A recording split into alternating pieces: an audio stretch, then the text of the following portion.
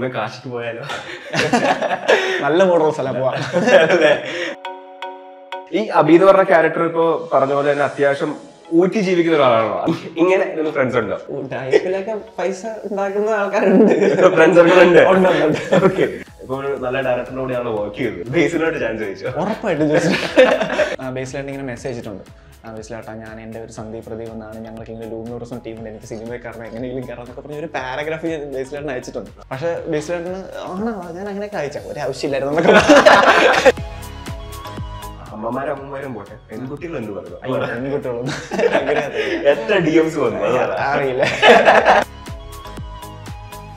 ചേട്ടാ ഇത് എനിക്ക് ആ മറ്റേ ഡയലോഗില്ലേ താക്കോൽ കയ്യിലില്ലല്ല അതൊന്ന് അഭിനയിച്ച് കാണിച്ചു എന്ന് ചോദിച്ചു. പുള്ളിനെ നിങ്ങളുടെ ബാക്ക് സൈഡിലേക്ക് നോക്കി. അപ്പൊ ഞാൻ പറഞ്ഞു മൈൻഡ് ചെയ്യാതെ മാറിയാണ്? അപ്പൊ ഇങ്ങനെ നോക്കിയിട്ട് പെട്ടെന്ന് താക്കോൽ കയ്യിലില്ല എന്ന് പറഞ്ഞിട്ട് പെട്ടെന്ന് വന്നിട്ട് അപ്പൊ ഞാൻ ഞെട്ടി. അവൻ ഭയങ്കര ഹാപ്പി ആയി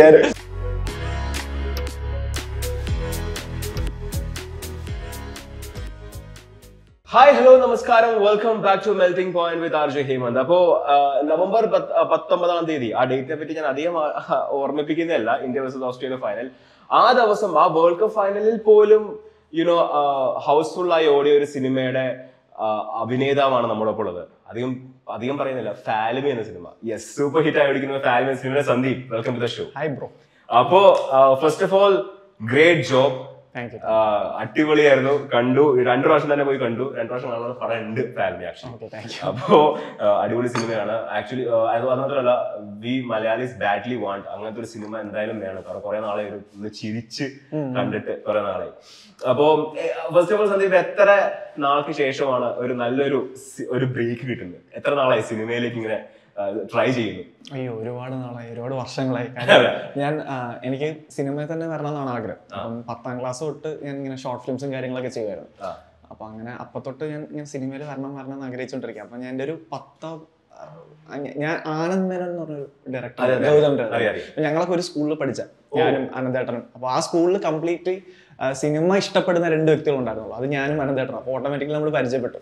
അങ്ങനെ ഞങ്ങൾ ഒരു ടീം ഫോം ചെയ്തു. ലൂമിയോ ബ്രോസ് എന്ന് പറഞ്ഞൊരു ടീം ഫോം ചെയ്തിട്ട് അവിടെ തൊട്ടാണ് നമ്മൾ ഷോർട്ട് ഫിലിംസ് ഒക്കെ ചെയ്യാൻ തുടങ്ങിയത്.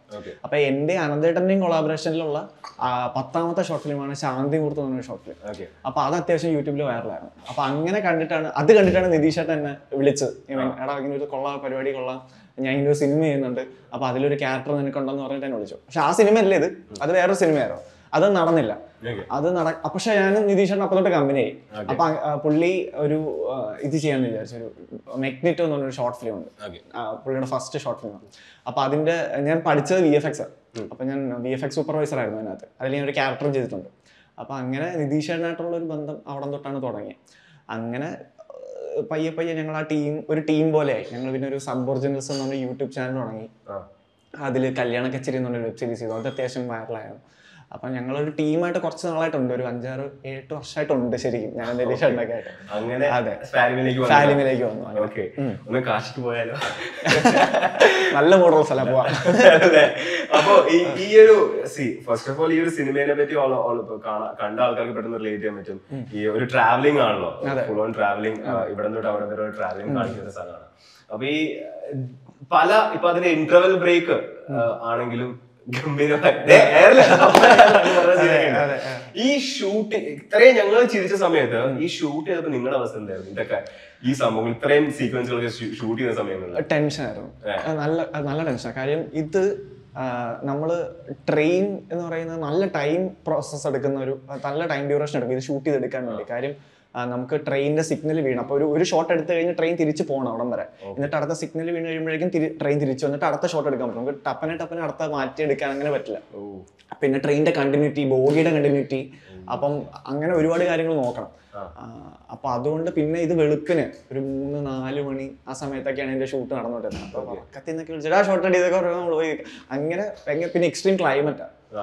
രാത്രി ഭയങ്കര തണുപ്പാണ്. അപ്പോൾ തണുപ്പും മനുഷ്യ സാരി കൊടുത്ത് നിൽക്കുന്നത് അപ്പോൾ നല്ല തണുപ്പാണ്. അപ്പം ഹെൽത്ത് വൈസ് നമുക്ക് കുറച്ച് വീക്ക് ആയിരുന്ന മൊമെന്റ് ആയിരുന്നു ഇത് ഷൂട്ട് ചെയ്ത സമയത്തൊക്കെ. ഓക്കെ പക്ഷെ ഭയങ്കര ഫണ്ണായിരുന്നു ഭയങ്കര ഫണ്ണാണ് കാര്യം ഞാൻ ആദ്യമായിട്ട് ഇത് എക്സ്പീരിയൻസ് ചെയ്യുന്നത് ഇങ്ങനെ ട്രെയിൻ നമ്മൾ ഒറിജിനൽ ട്രെയിൻ എടുത്തിട്ട് അങ്ങോട്ടും ഇങ്ങോട്ടും ഓടിച്ച് കളിക്കും. അങ്ങനെ അത് ഭയങ്കര ഫണ്ണായിട്ടുള്ള ഒരു പരിപാടി പിന്നെ ബേസിലേട്ടൻ ജഗദീഷ് ചേട്ടൻ ടൈമിങ് ഭയങ്കര ഇമ്പോർട്ടന്റ് ആണല്ലോ. ഇവരുടെയൊക്കെ ടൈമിങ് കാര്യം ഇവർ എനിക്ക് ഇപ്പൊ അതിൽ ചാടി ഇറങ്ങുന്ന ഒരു സീൻ ഉണ്ട്. അപ്പൊ അവർ എനിക്ക് കാണാൻ പറ്റില്ല. അവർ ഏത് ഡയലോഗ് പറയുന്ന സമയത്ത് ഞാൻ അവിടെ എത്തണം എന്ന് എനിക്ക് അറിയത്തില്ല. അപ്പൊ ഒരു ആക്ടിവിറ്റി നമ്മുടെ മൈൻഡിൽ ഏകദേശം ഒരു സാധനം ഫിക്സ്ഡ് ആയിരിക്കും. അപ്പം അതൊരു ഊഹത്തിലൊക്കെ നമ്മൾ കറക്റ്റ് ടൈമിന് അവിടെ എത്തണം. കാര്യം അവിടെ എത്തുന്ന മൊമെന്റിൽ ട്രെയിനിന്റെ ലാസ്റ്റ് ബോഗി പാസ് ആവണം.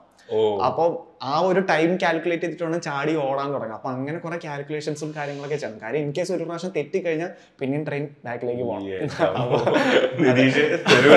അയ്യോ.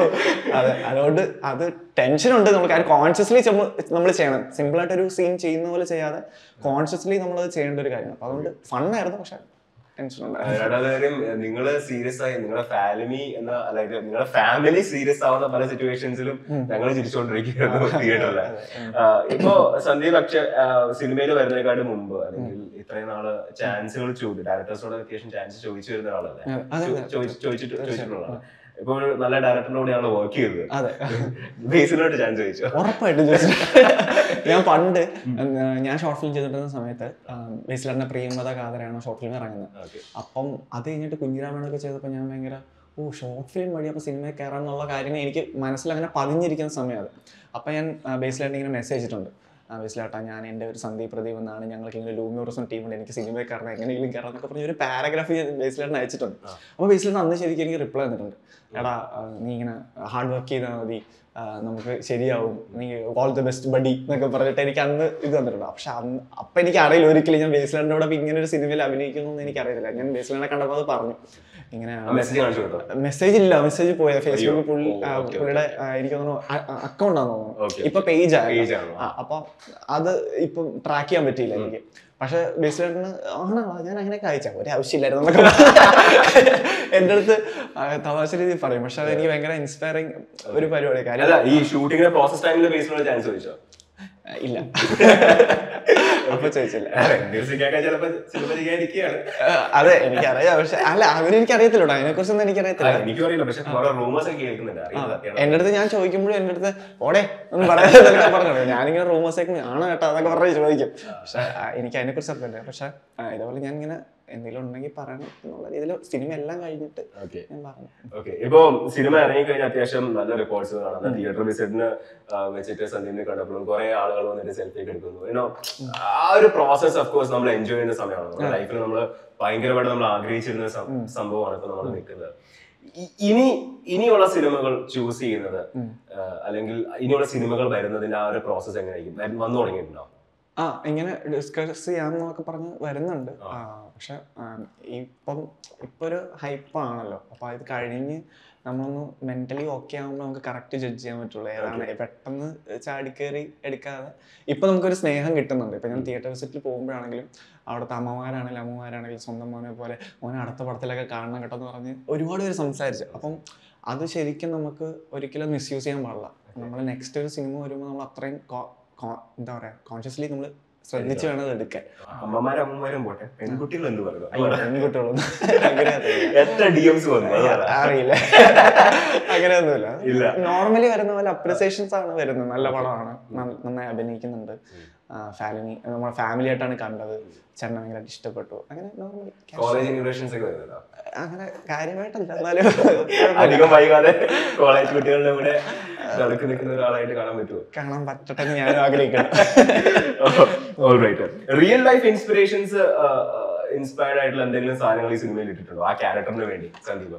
അതെ ഞാൻ ഈ ഐ എൽസ് ഒക്കെ പഠിക്കാൻ പോകുന്ന കൂട്ടുകാർ എനിക്കുണ്ട്. നമുക്കിപ്പോ എല്ലാവർക്കും ഉണ്ട് അങ്ങനത്തെ കൂട്ടുകാർ അപ്പൊ അവരുടെ ഒരു മെന്റാലിറ്റി എനിക്കറിയാം. എങ്ങനെയെങ്കിലും പഠിച്ച് രക്ഷപ്പെടണം എന്നുള്ളൊരു സംഭവം. പിന്നെ ഈ അബി എന്ന് പറയുന്ന ക്യാരക്ടർ സിനിമയിൽ ഭയങ്കര സെൽഫിഷ് ആയിട്ടുള്ള ഒരു ക്യാരക്ടർ അതെ. എനിക്ക് തന്ന നറേറ്റീവ് അതാണ്. നിഷ്കളങ്കമായ ഒരു സെൽഫിഷ്നെസ് ഉള്ള ഒരു ക്യാരക്ടറാണ് ഈ അബി എന്ന് പറയുന്ന ക്യാരക്ടർ കാര്യം അവൻ എല്ലാവരും യൂട്ടിലൈസ് ചെയ്യുവാണ്. ഇപ്പം പുറത്തു പോകാൻ വേണ്ടി കൂട്ടുകാരാണെങ്കിലും പ്രശ്നം ഉണ്ടാകുമ്പോൾ കൂട്ടുകാരെ വിളിക്കുക അതല്ലെങ്കിൽ അമ്മ അമ്മ അപ്പൂപ്പനിൽ നിന്ന് പൈസ അങ്ങനെ എല്ലാ രീതിയിലും യൂട്ടിലൈസ് ചെയ്ത് അവൻ അവന്റെ ലൈഫ് മുന്നോട്ട് കൊണ്ടുപോകണം എന്നുള്ള ഒരു ആഗ്രഹത്തിൽ ജീവിക്കുന്ന ഒരാളാണ് അബി എന്ന് പറയുന്നത്. അപ്പം എന്റെ പേഴ്സണൽ ക്യാരക്ടറിൽ അത്ര റിഫ്ലക്റ്റീവ് അല്ല ഞാൻ എന്റെ സ്വഭാവം വെച്ച്. പക്ഷെ ഒരു പരിധി വരെ ഞാൻ കൂടുതൽ സ്പെൻഡ് ചെയ്യുന്ന ടൈം ഫാമിലിയുടെ കൂടെ അല്ല.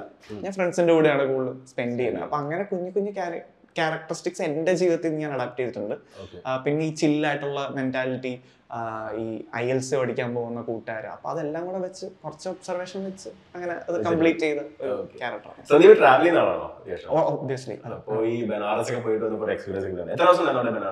ബനാറസ് എനിക്ക് തോന്നുന്നു ഒരു ഫൈവ് സിക്സ് ഡേയ്സ് ഉണ്ടായിരിക്കും. അല്ല? അത്ര ഉണ്ടായിരുന്നു ഉണ്ടായിരുന്നുള്ളൂ അധികം അധികം നല്ല. എനിക്ക് തോന്നുന്നു മാക്സിമം വൺ വീക്ക് ഉണ്ടായിരിക്കും വാരണാസി. കാര്യം ഒരുപാട് സ്ഥലമുണ്ട്. കർണാടക പോയി നമ്മൾ ജയ്സൽമർ പോയി ജയ്പൂർ ആ ഏരിയ പോയി പിന്നെ ട്രിവാൻഡ്രം ഉണ്ട് വാരണാസി ഉണ്ട് അപ്പം പല പല ടെറൈൻസിലാണ് നമ്മൾ ഷൂട്ട് ചെയ്തേക്കുന്നത്. കംപ്ലീറ്റ്ലി ആ ഒരു ടെറൈനിൽ മാത്രമല്ല. അപ്പം അങ്ങനെ ഒരു സംഭവമുണ്ട്. പിന്നെ വാരണാസി എക്സ്പീരിയൻസ് ബ്രോ അറിയാലോ ഭയങ്കര വൈബാണ് ഭയങ്കര മൂഡോട്ടുള്ള ഒരു സ്ഥലമാണ്. മെയിൻലി കൾച്ചർ വൈസ് ഭയങ്കര രസമാണ്. ആ ഗംഗാരതിയുടെ സാധനങ്ങളൊക്കെ ഭയങ്കര എക്സ്പീരിയൻസ് ഓ പിന്നെ ഡെഫിനറ്റ്ലി ഇതിൽ ഒരു സീനിൽ എനിക്ക് എപ്പോഴും ഓരോ ഒരു ഓട്ടോ ഉണ്ട് സന്ദീപിന്റെ. വീട്ടിലേക്ക് തട്ടടിന്ന് ഭക്ഷണം കഴിച്ചിട്ട് ഒരു ഓട്ടോ ഉണ്ട്. എത്ര എത്ര ഷോട്ട് എടുത്തത്? അയ്യോ അതെന്നെ ഊപ്പാടുള്ള അതെന്നെ ഓടി ഓടിച്ച് ഓടിച്ചോടിച്ച് അത് ഒരു വൈഡ് ഉണ്ട്. ഞാൻ അവിടെ ദൂരെ നിന്ന് ഓടി വരുന്ന ഒരു സാധനമുണ്ട്. അത് ഓൾമോസ്റ്റ് എനിക്ക് തോന്നുന്നു six hundred seven hundred metres അവിടെ ദൂരെ നിന്ന് ടെലിയിട്ട് ഓടി. അപ്പം ഞാനത് ഓടി ഓടി ഓടി. ആദ്യത്തെ ഷോട്ടിൽ ഞാനൊരു ആവേശത്തിനങ്ങ് സ്പീഡിലും ഓടി. പക്ഷെ ഇനിയും ഷോട്ട് എടുക്കണം എന്നുള്ള കാര്യം ചിന്ത എനിക്ക് പോയില്ല. മൂന്നാമത്തെ ടേക്കൊക്കെ ആയപ്പോൾ എന്റെ കിളി പോയി. ഞാൻ എന്നിട്ട് അവിടെ ഇരുന്ന് വെള്ളമൊക്കെ കുടിച്ച്. അപ്പോൾ ഇവരൊക്കെ വന്ന് ഇത് ഈ ഷോട്ട് കഴിഞ്ഞതിന് ശേഷവും ആൾക്കാർ അവിടുത്തെ ക്രൂ മെമ്പേഴ്സ് ഒക്കെ തന്നെ എന്നെ കളിയാക്കും. ഒരു ഓടുന്ന സീൻ ഉണ്ടെന്നാ കേട്ടെ. എന്നൊക്കെ പറഞ്ഞു പോകും. പിന്നെ ഞാൻ പറഞ്ഞു മാമാ എന്നൊക്കെ പറഞ്ഞ് ഞാൻ കളിയാക്കും. അപ്പൊ എല്ലാവരും ഓടി ഞാൻ പെട്ടിരിക്കുന്ന കാരണം എല്ലാവരും അത് പറഞ്ഞ് പിന്നെ കളിയാക്കിക്കൊണ്ടിരിക്കുന്നു. അതിന് ശരിക്കും സ്ഥലം എവിടെയാണ്? ഞാൻ വൈക്കമാണ് വൈക്കം. പക്ഷെ ഞാനിപ്പോ ഒരു ഫൈവ് ഇയേഴ്സ് ആയിട്ട് കൊച്ചിയിൽ. പക്ഷെ ഇതിൽ ഈ സിനിമ കാണുമ്പോ ഒരു ട്രിവാൻഡ്രം സ്ലാങ് പിടിച്ചിട്ടുണ്ടല്ലോ. അതെങ്ങനെയാണ്? പ്രോസസ്സിലൂടെ പഠിച്ചെടുത്താണോ അതോ സ്ലാങ് പിടിക്കാൻ ഇനീഷ്യേറ്റീവ് എടുത്തിട്ടുണ്ടോ? നിതീഷ് ഏട്ടനാണ് ഹെൽപ്പ് ചെയ്തിട്ടുള്ളത്. നിതീഷ് ഏട്ടൻ ഡയറക്ടർ ആണ്. പുള്ളി ട്രിവാൻഡ്രംകാരനാണ്. അപ്പൊ ഞാൻ സംസാരിച്ചു വരുമ്പോൾ ഏയ് കൊച്ചി വേണ്ട എന്ന് പറയും. അപ്പൊ ഞാൻ ഓക്കെ അപ്പൊ എങ്ങനെ ഏട്ടാ അത് പറയണ്ടേ? എന്ന് ചോദിക്കുമ്പോൾ പുള്ളി കറക്റ്റ് ആയിട്ട് അത് പറഞ്ഞുതരും. ഇങ്ങനെയാണ് മോഡുലേഷൻ ഇത്രയും പറഞ്ഞാൽ മതി. ഒരുപാട് ഓവർ ആയി കഴിഞ്ഞാൽ നമ്മൾ ട്രിവാൻഡ്രം പെർഫെക്റ്റ് സ്ലാങ് ആണ്. കാര്യം ഈ അബി എന്ന് പറയുന്ന ക്യാരക്ടർ അവന് ഒരുപാട് ഫ്രണ്ട് സർക്കിൾ ഉണ്ട്. അവൻ അയൽസ് പഠിക്കുന്നത് അപ്പോൾ ഒരുപാട് കൾച്ചറിൽ ഒരുപാട് സ്ലാങ് സംസാരിക്കുന്നവനാണ് എന്റെ കൂട്ടുകാർ പാർട്ടി കൾച്ചറാണ് അപ്പൊ അതുകൊണ്ട് അവന് എവിഡന്റ് ആയിട്ടുള്ള ഒരു സംഭവം വരുന്നില്ല. ട്രാൻസ് സ്ലാങ് വരുന്നില്ല. അപ്പൊ അത് കൺട്രോൾ ആയിട്ടും ചെയ്യണം എന്നുള്ള കാര്യം നിതീഷന് ഭയങ്കര നിർബന്ധമുണ്ടായിരുന്നു അപ്പൊ പുള്ളിയാണ് എന്നെ മോഡുലേറ്റ് ചെയ്ത് എടുത്തത്. ഈ അബി എന്ന് പറഞ്ഞ ക്യാരക്ടർ ഇപ്പൊ പറഞ്ഞ പോലെ തന്നെ അത്യാവശ്യം ഊറ്റി ജീവിക്കുന്ന ഒരാളാണോ? അത്യാവശ്യം ആളുകളുടെ പൈസ മേടിക്കാതെ. ഇങ്ങനെ ഫ്രണ്ട്സ് ഉണ്ടോ? അങ്ങനെ ലൈഫിലൊക്കെ പൈസ ഉണ്ടാക്കുന്ന ആൾക്കാരുണ്ട്. ഫ്രണ്ട്സ് സർക്കിൾ ഉണ്ട്. ഓക്കെ നിങ്ങളുടെ ഫ്രണ്ട്സ് ഗ്രൂപ്പിലൊക്കെ എന്ത് പറഞ്ഞു സിനിമ കണ്ടിട്ട് എല്ലാവരും ഭയങ്കര ഹാപ്പിയാണ് അല്ല ആരെങ്കിലും റിലേറ്റ് ചെയ്താ? നിന്റെ ക്യാരക്ടർ ഇന്ന ആളെ പോലെ എന്നൊക്കെ പറഞ്ഞിട്ട്. അതിൽ ഞാൻ പറയുന്നൊരു ഡയലോഗ് ഉണ്ട് ഇങ്ങനെ എന്റെ ഒരു ഗേൾ ഫ്രണ്ട് ആയിട്ടുള്ള ഒരു ക്യാരക്ടർ. അപ്പം യു കെ പോകുന്നത് യു കെ പോകും അപ്പൊ എന്റെ അടുത്ത് പറയാം നീ ഇനി ഇപ്രാവശ്യമെങ്കിലും പഠിച്ച് കയറി വരാൻ നോക്കുമ്പോൾ ഞാൻ ഇങ്ങനെ പറയുന്നുണ്ട്. അല്ല സൈ ഞാൻ തിങ്കളാഴ്ച തൊട്ട് സെറ്റാക്കും എന്നുള്ള പറയുന്ന ഡയലോഗ് അത് എന്റെ ഡയലോഗ് ആക്ച്വലി ഞാൻ വീട്ടിൽ അമ്മ ഇങ്ങനെ ഹെൽത്ത് നോക്കി പോയി ജിമ്മിൽ പോ. അത് ചെയ്ത് ചെയ്യുന്ന പറയുമ്പോൾ ഞാൻ തിങ്കളാഴ്ച ആവട്ടെ തിങ്കളാഴ്ച തൊട്ട് നമ്മൾ സെറ്റ് ആക്കാം. ഒരു സ്റ്റാർട്ടിങ് കിട്ടുള്ളൂ ഞാൻ പറഞ്ഞ ഡയലോഗ് അത് ഞാൻ ആ സമയത്ത് ഇങ്ങനെ കഴിഞ്ഞിട്ട് അച്ഛൻ അമ്മ അനിയത്തി. അച്ഛൻ പുറത്താണ് വർക്ക് ചെയ്യുന്നത്. കറന്റ് ഞാൻ അമ്മ അനിയത്തിയാണ്. ഈ സിനിമയോടുള്ള ആഗ്രഹമൊക്കെ പറഞ്ഞപ്പോൾ എന്തായിരുന്നു റെസ്പോൺസ് ആദ്യം പറഞ്ഞ ഞാൻ എട്ടിൽ ഒമ്പതിലൊക്കെ ആ, സമയത്താ പറഞ്ഞത്. അപ്പൊ എന്റെ അടുത്ത് ഒന്ന് പോയെ സിനിമയുടെ മര്യാദയ്ക്ക് അങ്ങനെ എല്ലാം സാധാരണ പോലെ. പിന്നെ പത്ത് കഴിഞ്ഞ് പ്ലസ് ടു ഒക്കെ കഴിഞ്ഞപ്പോ ഷോർട്ട് ഫിലിംസ് ഒക്കെ ചെയ്ത് അതിൽ തന്നെ ആയി. പിന്നെ മൈൻഡ് മാറില്ല എന്നുള്ള കാര്യം എന്തെങ്കിലും ചെയ്യുന്നുള്ളൊരു പിന്നെ ഒരു ഭയങ്കര സപ്പോർട്ടായിരുന്നു കേട്ടോ. ഇപ്പോഴായാലും നല്ല സപ്പോർട്ടീവ് ആണ്. അച്ഛനാണെങ്കിലും അമ്മയാണെങ്കിലും ഭയങ്കര സപ്പോർട്ടീവ് ആണ്. ഇപ്പോ ആ, പടത്തിന്റെ റിവ്യൂസ് ഒക്കെ നോക്കുമ്പോ കുറച്ച് റിവ്യൂവേഴ്സ് ഒക്കെ പറഞ്ഞൊരു കാര്യം ഒരു ഹീറോയിക് ഇമേജ് ഉണ്ട്. ഒന്ന് മോൾഡിൽ എടുത്തു കഴിഞ്ഞാൽ ഒരു ഭാവിയിൽ ഒരു നല്ലൊരു സ്റ്റാർ ആവാനുള്ള എല്ലാ മെറ്റീരിയലും ഉള്ളൊരു ആക്ടറാണ് സന്ദീപ്. എന്ത് തോന്നുന്നു കേൾക്കുമ്പോൾ? സന്തോഷം തോന്നുന്നുണ്ട്. ഡെഫിനറ്റ്ലി സന്തോഷം തോന്നുന്നുണ്ട്. അങ്ങനെ ആവണം ആ- ആവണം എന്ന് ആഗ്രഹിക്കുന്നു അതിനുവേണ്ടി കഷ്ടപ്പെടണം. Okay. ഇതുപോലെ. ഇത്, ആ, ഈ സിനിമ കണ്ടതിന് ശേഷം റിലീസ് ആയതിനു ശേഷം നമ്മൾ ഒരിക്കലും പ്രെഡിക്റ്റ് ചെയ്യാതെ ഏതെങ്കിലും ഒരു ആക്ടറോ ഡയറക്ടറോ മെസ്സേജ് അയച്ചിട്ടുണ്ടോ സന്ദീപിനെ? എന്നെ റീസെന്റ് മാളികപ്പുറത്തിന്റെ ഡയറക്ടർ എനിക്ക് മെസ്സേജ് നല്ല വിളിച്ചു എന്നെ. ഭയങ്കരമായിട്ട് ഹാപ്പി ആയിട്ട് ഭയങ്കരമായിട്ട് ഇഷ്ടപ്പെട്ടു നന്നായിട്ട് ഇഷ്ടപ്പെട്ടു. വരും പ്രൊജക്റ്റുകളൊക്കെ നമുക്ക് നോക്കാം എന്നൊക്കെ പറഞ്ഞു സംസാരിച്ചു. അത് പ്രതീക്ഷിച്ചില്ല. പാരന്റ്സ് ആയിട്ടൊക്കെ പോയി കണ്ടോ സിനിമ കണ്ടു കണ്ടു. റെസ്പോൺസ് അടിപൊളി റെസ്പോൺസ് ആണ്. ഇന്ന് ഇന്ന് റിലീസാണ് ദുബായിൽ റിലീസാണ് അപ്പൊ ഇന്ന് അച്ഛൻ അവിടെ കാണും. അമ്മയും അനിയത്തേക്കായിട്ട് നമ്മൾ എഫ് ടി എഫ് എസ് കണ്ടിരുന്നു ഈ ഒരു പ്രോസസ്സിന്റെ സമയത്ത് ഷൂട്ടിംഗ് പ്രോസസ്സിന്റെ സമയത്ത് എന്തെങ്കിലും ഒരു മെമ്മറബിൾ ആയിട്ടുള്ള ഒരു ഇതുണ്ടോ? ഷൂട്ടിംഗ് അനുഭവങ്ങളോ? അല്ലെങ്കിൽ മറക്കാൻ പറ്റാത്ത ഒരു എന്തെങ്കിലും പ്രാങ്ക്സോ ബേസിലായിട്ടെങ്കിലും ജഗദീഷേട്ടനും എല്ലാം ഫണ്ണ ആൾക്കാരാണ്? എനിക്ക് ആ ജഗദീഷ് ചേട്ടനുമായിട്ടൊരു ഒരു സംഭവം ഉണ്ട് കേട്ടോ. അത് എങ്ങനെയാന്ന് വെച്ചാൽ മറ്റേ ഡയലോഗില്ലേ താക്കോൽ കയ്യിലില്ലല്ലോ. അതിൽ ഞാൻ ഭയങ്കര ഫാനാണ് ജഗദീശ്വരനെ കാണുന്നൊക്കെ ദിവസം തൊട്ട് തന്നെ എനിക്ക് അതൊക്കെ എനിക്ക് ആലോചിച്ച് ചിരി വരും. അപ്പൊ ഞാൻ ഒരു ദിവസം ഇങ്ങനെ ഓട്ടോറിക്ഷ നമ്മുടെ ട്രാവൽ നമ്മൾ ഓട്ടോറിക്ഷയില്ല കാര്യം ചെറിയ ഗല്ലി നമുക്ക് കാറിലൊന്നും പോകാൻ പറ്റില്ല. അപ്പൊ ജഗദീശ്വരനോട് ഞാനും ജഗദീശ്വരനും മാത്രമുള്ള ഒരു മൊമെന്റ് വന്നു അപ്പൊ ഞാൻ ജഗദീഷ് ചേട്ടാ എനിക്കൊരു ആഗ്രഹം ഒന്ന് സഹായിച്ചിരുന്നു ചോദിച്ചു. ജഗദീഷ് ചേട്ടൻ ആ പറഞ്ഞു സന്ദീപ്. പിന്നെ എനിക്ക് പേടിയായി തുടങ്ങി. ഇതിപ്പോ ആ പറഞ്ഞോ സന്ദീപിൽ ഞാൻ ഇത് ചോദിക്കാമോ എന്നുള്ള ഒരു ഡൗട്ട് ഉണ്ടായിരുന്നു അപ്പൊ ഞാൻ പറഞ്ഞോ സന്ദീപ് എന്ന് പറഞ്ഞു. അപ്പൊ ഞാൻ ചോദിച്ചേട്ടാ ഇത് എനിക്ക് ആ മറ്റേ ഡയലോഗില്ലേ താക്കോൽ കയ്യിലില്ലല്ല അതൊന്ന് അഭിനയിച്ച് കാണിച്ചു തരാമോ എന്ന് ചോദിച്ചു. പുള്ളി എന്നെ നിങ്ങളുടെ ബാക്ക് സൈഡിലേക്ക് നോക്കി. അപ്പൊ ഞാൻ പറഞ്ഞു മൈൻഡ് ചെയ്യാതെ മാറിയാണ്. അപ്പൊ ഇങ്ങനെ നോക്കിയിട്ട് പെട്ടെന്ന് താക്കോൽ കയ്യിലില്ല എന്ന് പറഞ്ഞിട്ട് പെട്ടെന്ന് വന്നിട്ട് അപ്പൊ ഞാൻ ഞെട്ടി. ഭയങ്കര ഹാപ്പി ആയി ഞാൻ അത് ഭയങ്കര കംഫർട്ടബിൾ ആയിട്ട് പുള്ളിനെ അത് നമ്മളെ രസിച്ചു. ഭയങ്കര ഭയങ്കര സന്തോഷം തോന്നും നമുക്ക് ആ ഒരു മൊമെന്റിൽ അപ്പൊ അങ്ങനെ ഒരു ഇൻസിഡന്റ് എനിക്ക് ജഗദീഷായിട്ടുണ്ട് കാര്യം നമ്മൾ ലൈവ് ടി വിയിൽ നമ്മൾ അത്ര ആരാധിച്ചിരുന്ന ഡയലോഗും ആ മനുഷ്യനും നമ്മളെ ഫ്രണ്ട് ഇരുന്ന് നമുക്ക് വേണ്ടി പേഴ്സണലായിട്ട് ഒരു കാര്യം ഇങ്ങനെ ചെയ്തു തരാന്ന് പറയുന്നത് വലിയ കാര്യമാണ് എന്നെ സംബന്ധിച്ച്. അപ്പം അത് ഭയങ്കര മെമ്മറബിൾ ആയിട്ടുള്ള ഒരു ഇൻസിഡന്റ് ആണ് ശരിക്കും എന്റെ സിനിമയിൽ ഇതിന്റെ കാസ്റ്റിംഗ് ഭയങ്കര ഇൻട്രസ്റ്റിംഗ് ആണ്. ഇപ്പൊ അപ്പൂപ്പനായാലും അതല്ലെങ്കിൽ ആ സിനിമയിൽ അതിന്റെ ഒരു ഇന്റർവൽ ബ്രേക്കിന് വരാൻ കാരണക്കാരനാവുന്ന ഒരു ചെറിയ കുട്ടിയുണ്ട്. ആ കുട്ടിയായാലും ഈ കാസ്റ്റിംഗ് എങ്ങനെയായിരുന്നു? കാസ്റ്റിംഗ് അപ്പൂപ്പൻ ഓഡിഷനാണ്. ബേസിലേട്ടൻ പോയി സംസാരിച്ചാണ് മഞ്ജു ചേച്ചി എനിക്ക് തോന്നുന്നു ഫസ്റ്റ് കാസ്റ്റ് ചെയ്തത് എന്നെയാണ് അനിയനായിട്ട്. അപ്പൊ അത് കഴിഞ്ഞിട്ടാണ് ബേസിലേട്ടൻ. അപ്പൊ ഈ പ്രോസസ്സിൽ ഞാനുണ്ട്. അപ്പൂപ്പനാണ് ഓഡിഷനിൽ വന്നത്. ബാക്കിയൊക്കെ നമ്മൾ ഓരോ ടെറൈനിൽ പോകുമ്പോൾ അവിടുത്തെ ബെസ്റ്റ് ആൾക്കാർ ഇതേപോലെ ഓഡിഷൻ കൊടുക്കും. ഒരു ഒരു ടു ത്രീ ഡേയ്സ് പ്രയർ അപ്പൊ അപ്പം അവിടെ നിന്ന് സെലക്ട് ചെയ്തെടുത്ത ബാക്കി ആൾക്കാരൊക്കെ പെർഫെക്റ്റ് ആയി വന്നു. നല്ല രസമായിട്ട് ബോലോറാം സാറാണ്. പുള്ളിയുടെ പേര് ബോലോറാം എന്നാണ്. പുള്ളി വെൽക്കം ഹോം എന്ന് പറഞ്ഞൊരു ഒരു സിനിമയുണ്ട്. ഭീകര സിനിമയാണ്. അപ്പൊ അതിന്റെ ആക്ടറാണ് അദ്ദേഹം. അപ്പൊ എന്തായാലും ഇത് വളരെ നല്ല രീതിയിൽ മുമ്പോട്ട് പോയിക്കൊണ്ടിരിക്കുകയാണ്. എല്ലാവരും ജനഹൃദയങ്ങളിലേക്ക് ഇങ്ങനെ വന്നുകൊണ്ടിരിക്കുകയാണ്. സിനിമയായാലും അതിന്റെ ക്യാരക്ടേഴ്സ് ആയാലും ഫാലിനി എന്ന സിനിമ ഇതുപോലെ ഹിറ്റ് ആയ പോലെ കരിയറും സന്ദീപിന്റെ ഇതുപോലെ തന്നെ ഹിറ്റ് ആവട്ടെ. നല്ല നല്ല സിനിമകൾ വരട്ടെ. അപ്പോ നാളെ ഒരു വലിയ ആക്ടറായി മാറട്ടെ Sandeep. Thank you so much for coming thank you thank you so much അപ്പോൾ ഡു വാച്ച് ഫാൽമിൻ തിയേറ്റേഴ്സ് ഒന്ന് പറഞ്ഞേക്കാം ഓഡിയൻസ് എല്ലാവരും കാണണം. എല്ലാവർക്കും ഭയങ്കരമായിട്ട് കണക്ട് ആവുന്ന ഒരു സിനിമയാണ്. ഫാമിലി എല്ലാവർക്കും എല്ലാ പ്രായത്തിലുള്ള ആൾക്കാർക്കും കണക്ട് ആവുന്ന ഒരു സിനിമയാണ്. ഫാമിലി ആയിട്ട് തന്നെ പോയി കാണണം പ്രതീക്ഷിക്കുന്നു. അപ്പൊ കേൾക്കൂ കേൾക്കൂ. കേട്ടുകൊണ്ടേയിരിക്കും.